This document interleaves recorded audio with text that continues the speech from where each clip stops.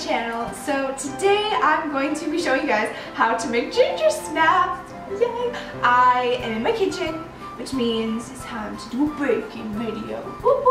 So um, I don't think I mentioned this on my channel, but I really love baking. Um, baking is really fun for me.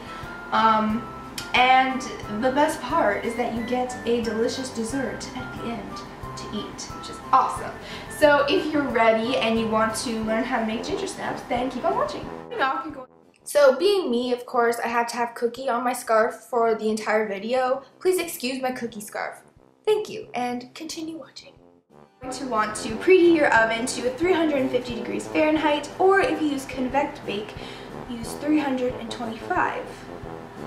Also, you're going to line your baking sheet with parchment paper so that our cookies don't stick. So for the ingredients, you're going to take 3 quarters of a cup of butter, a cup of sugar, a half a cup of molasses, one egg, two and a half cups of flour, two teaspoons of baking soda, two teaspoons of ginger, half a teaspoon of cinnamon, quarter of a teaspoon of nutmeg, and a pinch of salt. Also, you can just pause this video. It's probably easier than what I'm doing right now. So I'm going to be using the KitchenAid for my mixing because it's much easier than mixing by hand. I already tried to make them made them like this, but I did the steps wrong and we can't have that. And also, I forgot to put cinnamon in these, which, um, I'm not sure how these are gonna taste, but anyways. Making another batch, because why not? Um, and yeah, if you don't have a KitchenAid, then feel free to hand mix, because that is completely just as fine. I made those one hand mixing, I just made them wrong. Anyways, I'm gonna make these ones right. Second time's a charm, right? Yes. Off, I'm going to take three quarters of a cup of butter, and they're already in the mixer, and I'm going to cream it with the sugar, and I'm taking one cup of sugar. And we're gonna mix. So now that that's all nice and creamed together, I'm going to take half a cup of molasses. So if you're like me and you have trouble getting all the molasses out of your bowl, you can take a silicone spatula to help get all of the molasses out of the bowl and into the other bowl that you're mixing it in. I'm just going to take an egg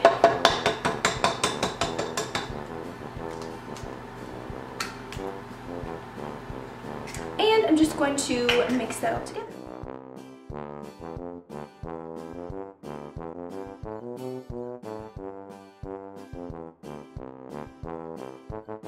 Going to add the rest of our dry ingredients. Two teaspoons of baking soda, two and a half cups of flour. It would probably be smart to slowly add this in, but I'm just gonna. So two teaspoons of ginger, one teaspoon of cinnamon, and I put a quarter of a teaspoon of nutmeg in there as well. And I'm just going to take a pinch of salt for taste because if you don't know what salt does, I'm gonna tell you. Salt adds, or brings out the flavor in other things. I know everyone's just like, oh no, salt's really bad for you. It is really bad for you, but it brings out the flavors. And especially because we're adding so many rich flavors like nutmeg and cinnamon and ginger, and we got the molasses in there. We really want those flavors to come out in our food. And of course, now I'm just gonna mix it.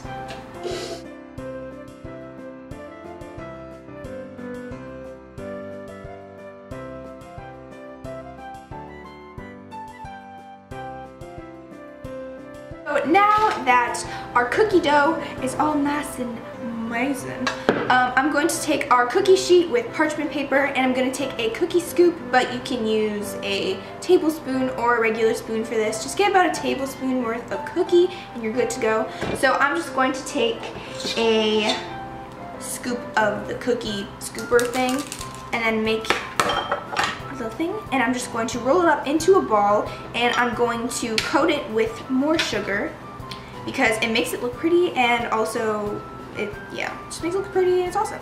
So then you're going to just put it on the sheet and cook for 10 to 12 minutes. And that is it. It is so easy and um, yeah I'm going to line 12 per sheet. This makes six dozen and um, yeah that's pretty much it. So if you are making your cookies and you're rolling them in your hands and you realize that the dough is sticking to your hands, a good tip is to wash your hands with cold water because it'll make your hands cold and then it won't make the dough so sticky when you roll it in your hands. Tips. Oh my gosh. Yes. Woohoo.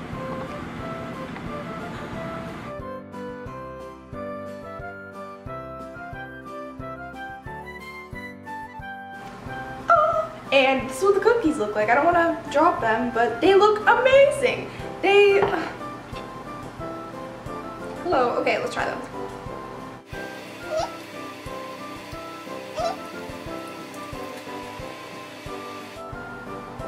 So good. So yes, this is how you make these cookies. I really hope you guys enjoy this video. And if you do try it out, please let me know in the comments below what you think of them because I think they're really awesome. And plus, the cracks in the cookies actually make them look really cute. Cute. Awesome. Oh my gosh, don't drop the cookies. So thank you guys so much for watching and I will see you guys in my next one. Bye!